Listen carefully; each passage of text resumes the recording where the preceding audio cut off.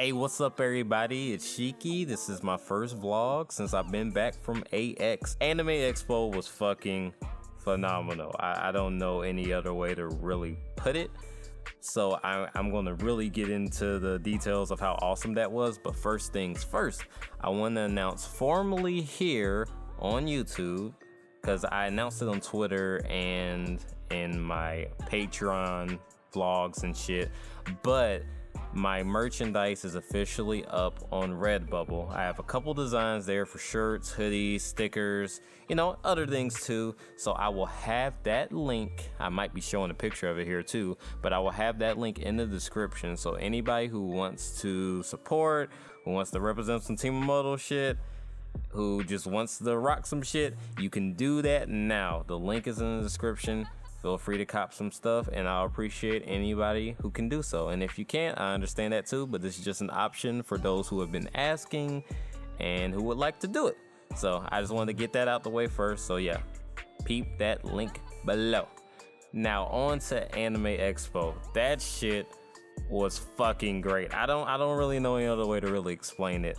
It was my first time being at such a big con. It was only my second con period and it was great. It was some technical issues with uh with a little bit with both, but we were able to overcome that and put on a great fucking show. Like me, uh Dude, Moe Shop.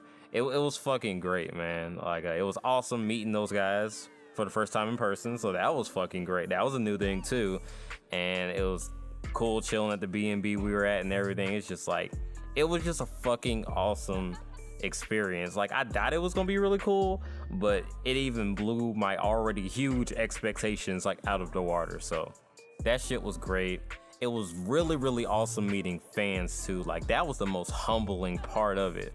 Like I had never like prior to coming there, I had never been asked for a signature.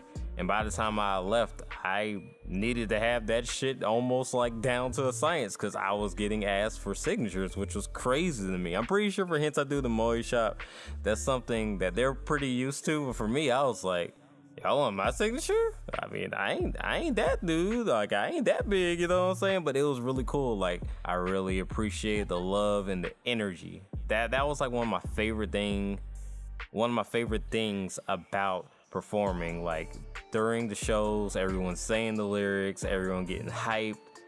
The love was fucking real, and I appreciate you all so much for that. For taking time out your day, coming to see my performance, and actually being involved and interactive. Like that shit is crazy. Like I still can't believe that shit. Like it was really fucking cool. So thank you all everyone who made it out, thank you so much. And everyone who would who would have liked to come out but couldn't, I totally understand. Trust me, I understand that struggle so much. Like if I wasn't performing and getting help to come out for to do stuff like that, I wouldn't have been able to go. So I totally understand that. But for future, for anybody who's interested in coming, if you can, definitely do it.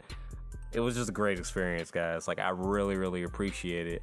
And that was just, you know, the performance side and meeting fans. Now, as far as the actual convention, that was really fucking cool too. As compared to MomoCon, it was a, easily like three, four times its size, which is to be expected. It's probably the biggest one, but it was great. Like the artist alley alone was trying to drain a little bit of spending money I brought. Like I brought an okay, decent amount of money for food because I knew I needed to eat. And you know, you're out, you're traveling, people gonna be eating out every every two seconds. So I was like, I gotta have money for that. But spending money was very, very minimal. Very, very minimal. Brother ain't got money like that. So like I had to pinch off that to try to get a few cool things. I got uh, I got some cool things, mainly some prints, uh, this one cool bracelet from this one person, uh, you know, a few pins, you know, but I couldn't ball out like some people, but it still was very awesome. It was awesome just to see so much it was so much talent in one place. And that even goes back to the performance. Like it was so much, so many talented people around. It was so many huge YouTube personalities around. Like it was just great. It was just a phenomenal experience. And I really, really hope I can do it again. I really hope I can chill with the same people. It was awesome meeting people from my Discord like Lexi and Solus. It was really, really awesome meeting both of you. It was just great, man. So anybody who can come out to Anime Expo, even if you don't come out for the show or anything else, if you if you just want to come out just to experience that environment, do that shit, man. Because I always wanted to, but I had no idea exactly how cool it would be. But thank you all once again for all the support. Uh, once again, the link is in the description for anybody who wants to support with the shirts and other merch.